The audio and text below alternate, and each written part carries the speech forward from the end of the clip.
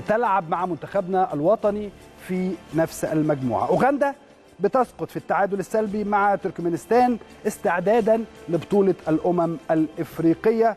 وزي ما حضراتكم أو زي ما هقول لحضراتكم يلعب منتخب أوغندا في البطولة التي تستضيفها مصر من يوم 21 يونيو حتى يوم 19 ضمن منافسات المجموعة الأولى بجانب منتخبنا الوطني والكونغو الديمقراطية وزيمبابوي.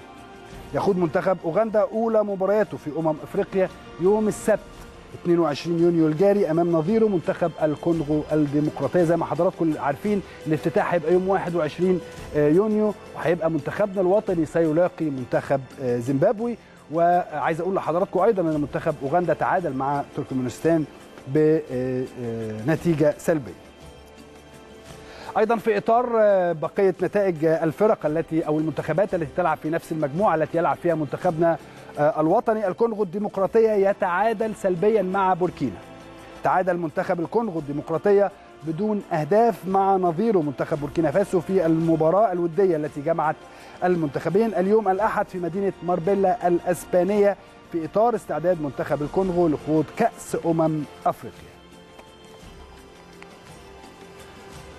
أيضا غانا بتخسر وديا بقى بقية المنتخبات غانا بتخسر وديا أمام ناميبيا استعدادا لكأس الأمم الإفريقية كل الآن أو كل المنتخبات ال 24 بيستعدوا للوجود في مصر وبداية هذا الحدث العظيم اللي اللي هيحدث في مصر بداية من يوم 21 وهو كأس الأمم الإفريقية. منتخب غانا خسر أمام نظيره منتخب ناميبيا بهدف مقابل لا شيء في اللقاء الودي الذي جمع المنتخبان اليوم الأحد في الإمارات العربية المتحدة ضمن الاستعداد لخوض مباريات كأس أمم إفريقيا 2019 اللاعب مانفريد ستارك لمنتخب ناميبيا سجل هدف المباراة الوحيد في الدقيقة 31 من عمر الشوط الأول.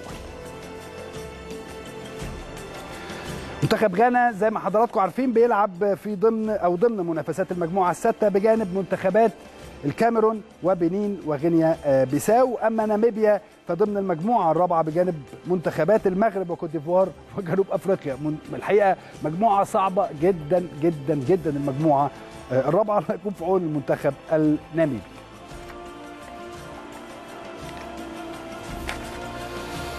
طيب. مدرب منتخب الجزائر بيهاجم محللي الاستوديوهات بسبب رياض محرز. جمال بالماضي المدير الفني للمنتخب الجزائري رفض الانتقادات التي يتعرض لها رياض محرز نجم مانشستر سيتي الإنجليزي من بعض المحللين وذلك قبل أيام من انطلاق منافسات بطولة كأس الأمم الإفريقية. وقال جمال بالماضي عندما ننتقد لاعبين يقدمون كل شيء للجزائر هذا يسمى بالهجوم الشرس والمبالغ فيه.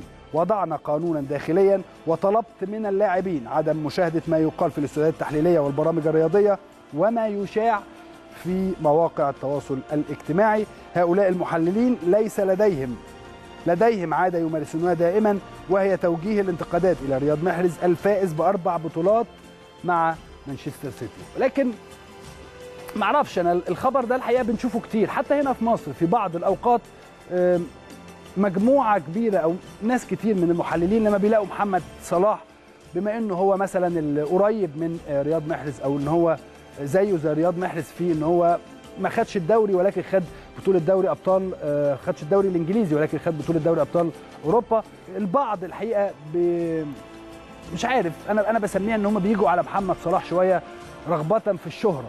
ممكن جدا من وجهة نظرهم إن اللي هينتقد محمد صلاح الناس هتبص عليه أو الناس هتشوفه. من الممكن جدا أن يكون هناك كلام منطقي وكلام عاقل جدا ولكن في النهاية ما يقدمه محمد صلاح ومجموعة اللاعبين اللي متواجدين مع منتخبنا الوطني الكل الحقيقة ودي ميزة مهمة جدا جدا جدا لمنتخبنا الوطني إن كل اللاعبين المحترفين الحقيقة اللي موجودين مع المنتخب مش دلوقتي بس من قبل كده قلبهم على بلدهم قلبهم على اسم بلدهم وبالتالي بيضعوا كل مجهودهم في المباريات اللي بيلعبوها. زي ما حضراتكم شفتوا واللقطة الشهيرة جدا للنجم الكبير نجم محمد نجم نادي ليفربول محمد صلاح اللي دايما رافع راسنا في كل حتة. اللقطة الشهيرة لما وقع على الأرض وقام وبعد في مباراة الصعود لكأس العالم. ده قلب. ده قد إيه هو بيحب بلده قد إيه هو عايز يعمل كل حاجة عشان بلده. لكن في بعض الأحيان الله يكون في عونه. تحديدا محمد صلاح الباقي كله يمكن ريح شوية. يعني أحمد حجازي ريح النني.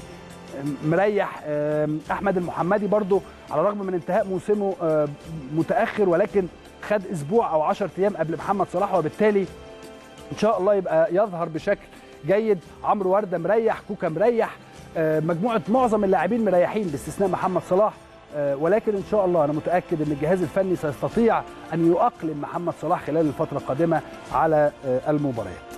التأشيرة بتحرم نجم الزمالك من المشاركة بأمم أفريقيا مع الكونغو. قرر فلوران إبنجي المدير الفني لمنتخب الكونغو الديمقراطية استبعاد الثنائي جاكسون موليكا وكابونجو كاسونجو مهاجم نادي الزمالك من المشاركة في بطولة كأس الأمم الأفريقية التي تستضيفها مصر. وذكرت وسائل الإعلام الأفريقية أن الثنائي جاكسون وكابونجو لم يتمكنا من استخراج تأشيرة السفر إلى أسبانيا والمشاركة في المعسكر التدريبي الذي يخوض المنتخب الكونغولي في اسبانيا استعدادا للمشاركة في كأس الأمم الافريقيه. يأتي هذا في الوقت الذي تحوم فيه الشكوك حول مشاركة يانيك بولاساي مهاجم اندرلخت البلجيكي مع منتخب الكونغو الديمقراطية في بطولة كأس الأمم الافريقيه.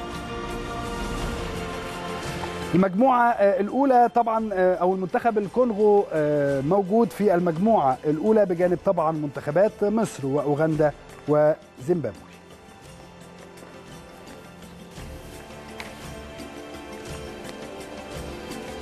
طيب هنطلع فاصل وبعد كده بقى هنرجع للصحف الإفريقية وماذا قالت عن هذه البطولة وماذا قالت عن منتخباتها من خلال الصحف الإفريقية